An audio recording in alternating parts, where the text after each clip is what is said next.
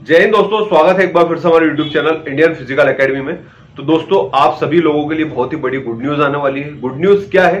Good news ये है, जो हमारे यशस्वी मुख्यमंत्री शिवराज सिंह चौहान जी ने बोला था कि एक लाख पदों पर भर्तियाँ होने वाली है। हालाँकि ये दो तीन महीनों से चलता आ रहा बाकी अभी कल एक लेटर जारी हुआ जिसके अंदर बताया गया है कि 23 सितंबर को विभाग द्वारा व्यापम को पूरा डाटा आपको देना है कि कौन सी विभाग में कितनी यहाँ पर भर्तियाँ होने वाली है, जो भी चीज़ है।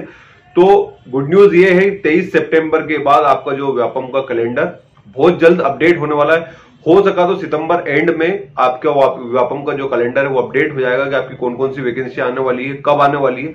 सारी चीज़ें आपको पता चल जाएगी। तो इसमें एक सबसे बड़ी गुड न्यूज़ ये है कि जो लोग वैकेंसियों का इंतज़ार कर रहे थे, उनको बहुत जल्द वैकेंसी देने का यहाँ पर मौका मिलेगा। दूसरी चीज़ ये है कि ये अपडेट होगा तो हो सकता है कि आपका जो कांस्टेबल का रिज़ल्ट रुका हुआ है, जो मेरिट रुकी हुई है, वो भी बहुत जल्द आने की संभावना यहाँ पर बन रही है। तो ये देखो, आपको पता है नेक्स्ट ईयर चुनाव है तो ये सारी जो है, चुनाव के लॉलीपॉप है तो इनको खाने के लिए आप तैयार रहें, आपकी जो मेहनत है, आप करते रहिए। क्योंकि यही साल है जिसमें आपको काफ़ी सारी वैकेंसी देने का यहाँ पर मौका मिलेगा। नेक्स्ट ईयर चुनाव है। उसके बाद काफ़ी लंबे समय के लिए आपको यहाँ पर वैकेंसी देखने का मौका नहीं मिलेगा।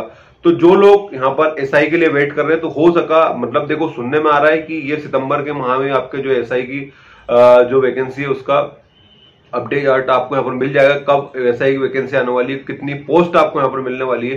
कांस्टेबल में क्या होगा? पहले फ़िज़िकल होगा या फ़िज़िकल में नंबर मिलेंगे। हालाँकि हंड्रेड परसेंट सिक्योरिटी है कांस्टेबल में भी हंड्रेड नंबर का फ़िज़िकल होगा आपका और वो हंड्रेड मार्क्स का आपका पेपर होगा।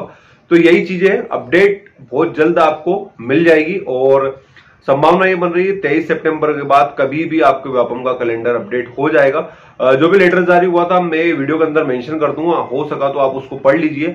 हर एक डिटेल आपको उसमें मिल जाएगी कितने पदों के लिए।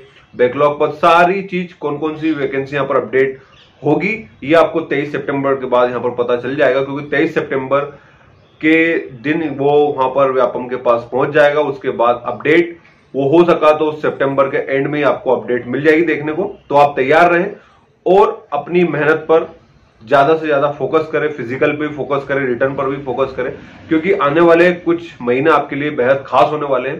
तो अपना समय व्यर्थ ना गंवाएँ और अपनी तैयारी पर फोकस करें। चुनाव से पहले काफ़ी ज़्यादा वैकेंसी आपको देने का यहाँ पर मौका मिलेगा। तो उसके लिए आप तैयार रहें, अपने आप को प्रिपेयर रखें। जो अभी फ़िज़िकल पास हुए थे या कॉन्स्टेबल की वैकेंसी में एग्ज़ाम पास हुए थे, जो किसी कारणवश पास नहीं हो पाए, सभी लोग अपनी तैयारी पर फोकस करें। जो लोग आगे की वैकेंसियाँ देखना चाहते हैं, जैसे एसआई वगैरह है तो आप अपनी तैयारी क्योंकि कुछ ना कुछ न्यू अपडेट भी एसआई के अंदर भी होगा, जैसे बोला गया था पेपर के नंबर वहाँ पर जो 700 नंबर का होगा। तो ऐसा ही कुछ अपडेट आपको देखने को मिलेगा और वो बहुत जल्द आपको देखने को यहाँ पर मिल जाएगा। तो यही अपडेट है और यही गुड न्यूज़ है आप लोगों के लिए, जो लोग इंतज़ार कर रहे हैं उनके लिए सबसे बड़ी गुड न्यूज़ है।